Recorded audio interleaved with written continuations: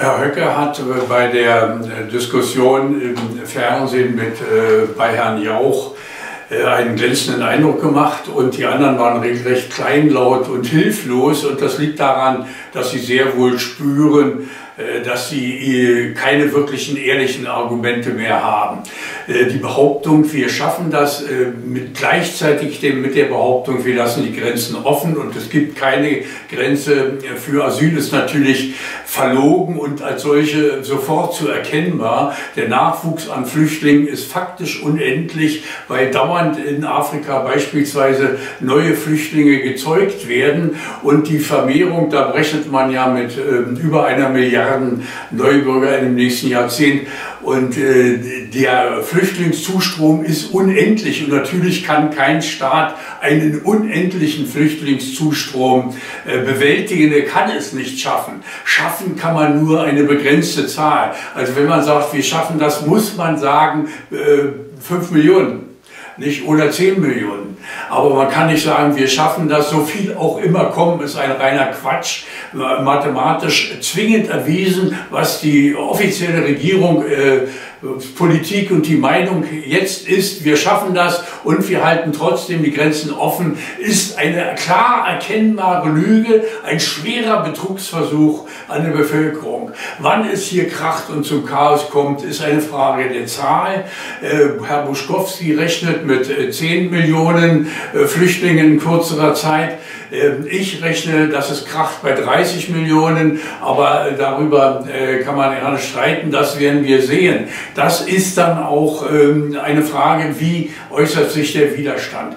Nun wurde gesagt, also der Pegida hätte mitgestochen in Köln äh, auf, die, äh, auf die Frau Rieger heißt wohl, ähm, eine Kinderlose und das ist deswegen wichtig, weil Kinderlose eben kein, keine eigenen Kinder haben und nicht Deutsch Deutschland für diese Kinder erhalten wollen, sondern diese Kinderlosen tendieren dazu, uns beschenken zu wollen jetzt äh, mit den äh, Kindern anderer. Das ist ihr Beitrag und sie begreifen nicht, dass äh, wir das überhaupt nicht wollen. Herr Altmaier, der Kinderlose, ist, sagte, also wenn hier ein irgendwann ihr sieht, dass in 20 Jahren, da wird ein afghanisches Kind, wird dann sagen, ich bin Deutscher, begeistert. Und da sage ich immer, ja, der wird begeistert dann äh, seine Hartz IV äh, abholen und äh, Viele von denen werden arbeitslos sein, äh, rettungslos. So viel Hilfsarbeiten können wir gar nicht erfinden, wie wir Hilfsarbeiter jetzt hier in Deutschland haben.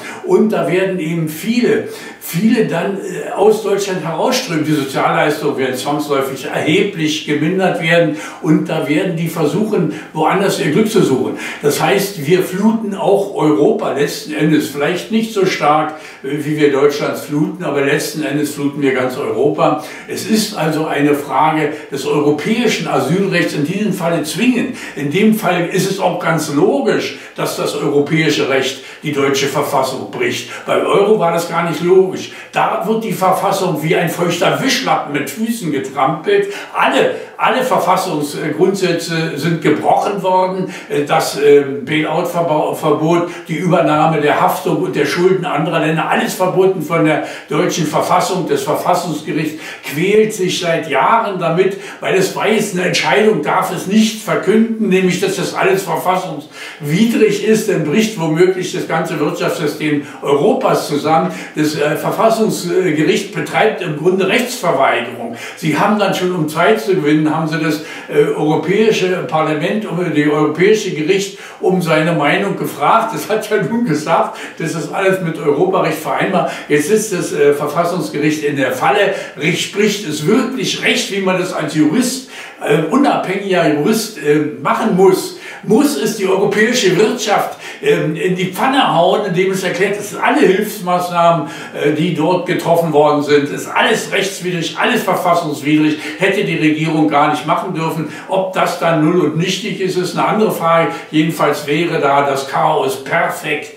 Und äh, diese Verfassung, die von Merkel ununterbrochen ständig gebrochen wird, mit einmal ist es sakrosankt, wenn es gegen deutsche Interesse geht. Das ist, da wird ein Dublin Abkommen, das zum Schutz der deutschen äh, Interessen, zum Schutz der Deutschen vor einem äh, illegalen äh, Wirtschaftsflüchtling zu Strom. Ähm, dieses Schutzgesetz wird von Merkel mal eben außer Kraft gesetzt. Es gibt äh, keine vorstellbare Konstruktion, wie das noch ähm, mit ihrem Amtseid vereinbar sein soll. Es ist auch, das wird ja oft gebracht, oft falsch gebracht, weil ja man der Überzeugung sein kann, es hilft letzten Endes Deutschland, es hilft letzten Endes Deutschland, also Flüchtlinge aufzunehmen, kann man der Meinung sein, das kann einem niemand verbieten. Äh, insofern ist die Sache mit dem Amtseid oft daneben. Aber wenn eine äh, Regierung die, die Gesetze bricht und Verträge, die ganz klar zum Schutz Deutschlands erlassen worden sind, einfach außer Kraft setzte, mal eben darüber hinweggeht, als existieren die gar nicht. Das darf eine Regierung nicht. Sie darf nicht geltende Gesetze brechen, aber wo kein Kläger ist, ist kein Richter. Die sind ja alle, die haben ja alle den Schwanz zwischen die Beine geklemmt und äh, da passiert von dieser Regierung ist nichts zu hoffen. Die äh, CDU äh, schiepert um ihre Regierungsfähigkeit. Sie sieht natürlich allmählich auch, die Umfragen gehen ja dramatisch zurück. Ähm, ein anderes wichtiges Thema ist natürlich jetzt, was die ähm, äh, Mehrheit macht, ist die Diktatur einer zeitweiligen äh, Parlamentsmehrheit, die im Augenblick äh, noch besteht, während die Umfragen ja schon zeigen, dass eine deutlich rechte Mehrheit, ich zähle mal die CDU als eigentlich rechte Partei, die wird es auch nach Merkels äh, Weggang wieder werden. Das ist jetzt alles, Merkel hat die in eine Schieflage gebracht, aus der sie sich nicht einfach befreien können. Aber schon Tocqueville, die eine, eine völlig unbestrittene Autorität in Fragen der Demokratie, warnt vor der Diktatur der Mehrheit und sieht es als eine ganz große Gefahr der Demokratie an, wenn eine solche so rücksichtslos ausgeübt wird. Das wird jetzt gemacht in der Meinung, äh, wir sind unangreifbar. Polizei, äh, Bundeswehr und so weiter, alles auf unserer Seite. Da kann so eine kleine Organisation wie Pegida oder andere äh, rechte Gruppen, die können uns nicht. Das ist ein großer Irrtum. Mohammed Atta, der hier von Hamburg aufgebrochen ist nach USA, der war ja noch nicht mal innerhalb der USA. Der ist dahin geflogen und hat dann die USA ins Chaos gestürzt oder jedenfalls in schwere Verlegenheit gebracht. Äh, der, der war bewaffnet mit einem Teppichmesser. Und man kann eben einen, einen hochmodernen Staat, wie es Deutschland ist, ist ja im Grunde verwundbarer als die USA, weil es eben viel kleiner ist, alles äh, viel hochproduktiver zusammen verzahnt ist. Da kann man natürlich äh, ein Chaos äh, viel e-, eher anrichten als in den USA mit geringen Mitteln, vor allen Dingen, wo die Leute hier ja ständig sind. Und äh, diese Möglichkeiten muss, äh, müssen bedacht werden. Der Staat muss wissen, dass sein, beispielsweise das Stromnetz äh, in größter Gefahr ist. Das ist ja jetzt schon dank Merkels idiotischer Energiewende Art, will ich mal sagen. Es gibt ja, will jetzt gar nicht darüber schreiben, ob Energiewende ja oder nein. Wie sie durchgeführt worden ist, ist eine, eine Katastrophe ohne Beispiel, eine, eine Idiotie sondergleichen. Wir zahlen jetzt äh, nach Dänemark die höchsten äh, Strompreise in der Welt äh, und äh, das äh, bei sinkenden Produktionskosten für Strom. Die liegen bei 3 Cent, wir sind bald bei 30 Prozent. Frankreich übrigens liegt bei 15 Prozent. Die zahlen immer etwa die Hälfte. Die armen Franzosen, die sind sowieso privat dreimal so reich wie wir. 40 Jahre hatten sie eine ganz schwache Wirtschaft und wir eine ganz starke. Der Erfolg ist, dass die Franzosen jetzt dreimal so reich sind wie wir. Und das kommt eben dadurch, weil hier wir immer getönt wird, wir, ach, wir sind so reich, wir können es doch leisten. Und es wird immer von immer überall hingeschüttet. Jetzt soll noch ähm, die Entwicklungshilfe natürlich vermehrt werden. Wir wissen, dass das alles völlig sinnlos war. Die Entwicklungshilfe hat überhaupt nichts gebracht. Die Länder, die Entwicklungshilfe bekommen haben, haben sich nicht entwickelt, während andere sich gut entwickelt haben. War alles kontraproduktiv, das soll jetzt erhöht werden. Im Übrigen ist es so, aus Afrika kommen die, aus denjenigen, die Flüchtlinge, aus denjenigen Ländern, denen es wirtschaftlich besser geht. Die Armen kommen noch gar nicht, die haben nicht genug Geld dafür.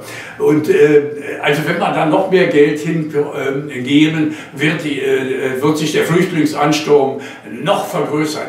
Äh, was hier passiert, ist eine, ein Desaster ohne Beispiel. Äh, Deutschland ist halb schon fast völlig vernichtet durch diese äh, Schwachköpfe in der Regierung, muss man sagen, die ja nicht mal ihren eigenen, ihren eigenen Bekundungen und teuren Beteuerungen und Maximen gehorchen. Ich will von Max Weber gar nicht reden, dass man die Folgen einer Handlung als Politiker bedenken muss. Das begreifen die ja offensichtlich sowieso nicht. Wenn hier den Asylbewerbern Einzelne in Privathäuser gehen und da wie im Paradies leben für afrikanische Verhältnisse. Das sehen 100 Millionen sehen das heute. Das ist, was hat die Merkel für Vorstellungen? Und was haben die Leute für Vorstellungen?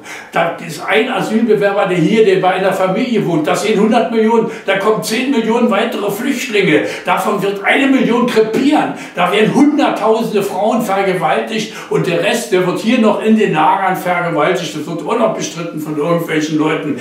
Und äh, die prügeln sich ja gegenseitig tot, stechen sich gegenseitig tot. Das wird natürlich zunehmen, weil die Verhältnisse schlimmer werden müssen. Müssen, weil ja immer mehr Millionen reinströmen und die sagt, es gibt keine Obergrenze. Das gibt es nur in Deutschland. Und diese Leute haben geschworen, nie wieder den deutschen Sonderweg, das steht Deutschland nicht durch. Und sie machen einen brutalen Sonderweg gegen die deutschen Interessen, ein Selbstmordprogramm Programm Aktion Sühnezeichen, das sind die Irren sind unter uns und sie begreifen noch nicht mal, was los ist. Es dämmert ein bisschen und deswegen auch die, die mickrige, der mickrige Widerstand gegen Herrn äh, Björn Hocke. Ähm, das ist, ähm, die sind am Ende, die wissen nicht mehr, was sie machen sollen.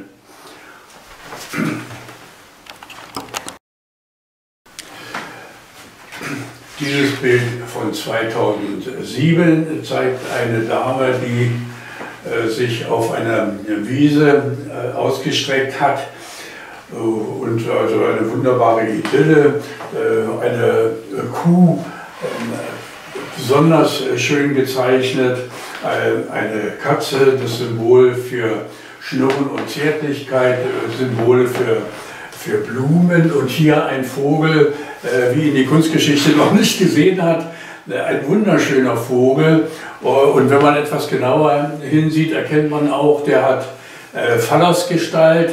Ähm, das ist hier richtig dieser äh, übliche äh, Übergang. Das Buckel ist zu erkennen, auf den Vorzeichnungen noch deutlich. Und dieser Vogel greift direkt frei auch auf das Knie der Dame. Das ist also äh, äh, ein Bild, was eben aber überhaupt nicht pornografisch ist und, und schwül, weil es äh, völlig darauf verzichtet, äh, eine realistische Darstellung äh, einer Frau zu bieten. Ein wunderschöner äh, langer Arm, ein ganz kurzer, verkümmerter Arm ähm, und in dem Fall hat die Frau Augen, aber keinen Mund und die Haare in üblicher, relativ brutaler Art gemalt. Auch hier ein wunderschönes Vögelchen. Äh, das äh, erinnert ein bisschen äh, an den Stil von Basquiat, den sie sehr schätzt natürlich.